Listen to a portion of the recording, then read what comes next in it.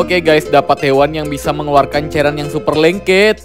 Nah ini tuh aku sama adik-adik aku mau pergi ke laut guys Karena air laut sedang surut. Jadi kita mau pergi mencari hewan-hewan laut yang bisa kita masak. Nah ini kita naik perahu ya guys Karena tempatnya lumayan jauh. Nah ini aku mulai mendayung Dan akhirnya kita sudah sampai. Ini dia guys tempatnya namanya Gusun. Dan adik aku tuh langsung dapat bintang loh guys. Tuh gemoy banget kan bintangnya dan bintang di sini tuh besar-besar dan juga banyak banget guys. Nah ini dia kita menemukan ada kayak ban gitu.